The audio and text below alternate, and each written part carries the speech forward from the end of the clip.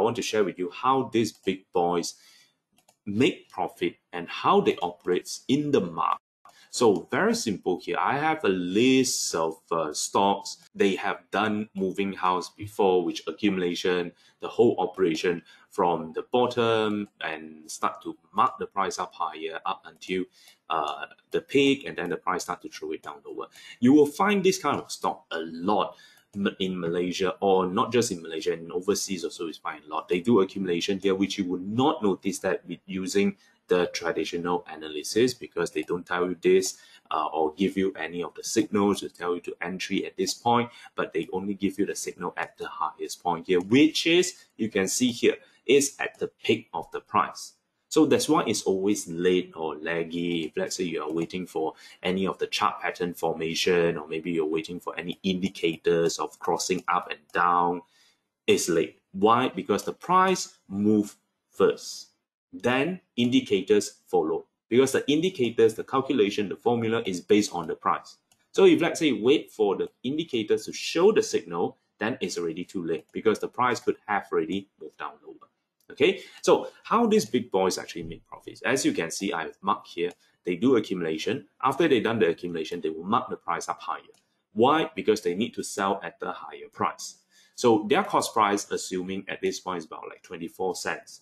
So right now, when they are marking up the price, you might think, when the price reached to this point, how do they make profit? How do they sell? They sell on the way down, wouldn't they make, make losses? How do they make profit out of this? If let's say they sell it down, is there enough of buyers in the market? So that is the keyword. Buyers. They need to have the buyers. And who are the buyers?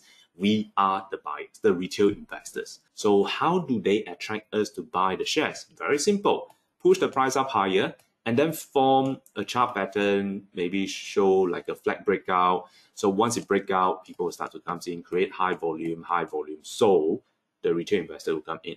But of course, when the retail investor, when they come into the market, they won't buy at the when the price is moving up, they won't buy at this point. So what they will do, what we will do as a retail investor, we will park our buy orders at the lower point. Let's say, for example, in this case, if the price uh, are marked up, Handal, the price I've already marked up here. So what retail investors see in the buy sell queue, they always think that, oh, this at what 15 cents over here is a huge support. But we forgot about one thing. These are oh. just buy orders, orders. They are not executed yet, which means you can cancel it off anytime. Same goes to the big boss that they key in the orders. Seems like there's a lot of support. It's just the buy orders that they have. As long as they have the funds, that as long as they have the money, they can key in here. Once they key in here, they can cancel it off anytime. So once they see there's a lot of retail investors starts to queue in at this point, then they will cancel off their order within the same second they throw the price down. So very fast. So you thought like, hmm, yeah, I got it at the fair value. I got it at the price that I think it is. So you see, I'm so good, uh, so proud of myself that I, I can actually buy at the price that I want. But in fact, the true story is you are we are being manipulated emotionally by the big boys oh. because this is how they create the fear of missing out as well.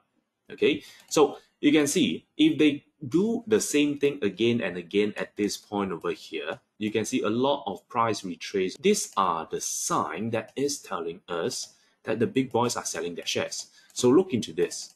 The price that they accumulated at 24 cents. So each time if there is a retrace at this point, here they're selling at 31 cents. Here they are selling at 37 cents. Here they are selling at 40 over cents. And then at this point, the whole stretch over here when they are selling down is selling from 50 cents down to 35 cents. So they whatever they sell at this point, as long as it's above their cost price, they are able to make profit, even though when they are throwing down like this. Okay, usually when it's thrown down like this, they have not much shares left because they will try to distribute or sell majority of their shares at this point when the price is at the high side. Let's say, for example, 80% of it will be sold at this point and then the remaining one will be sold at this point, then maybe left 1 or 2%, it doesn't matter because the profit that they took in is actually at this range over here. Is it above their accumulation cost price? Yes, it is. So imagine 99% of their shares are sold here. Do they make profit? Yes. 1% of their shares sold down and sold below their cost price. Will they still make profit? Yes. Even though the 1% make a little bit of losses, they still make profit from the 99% of their shares.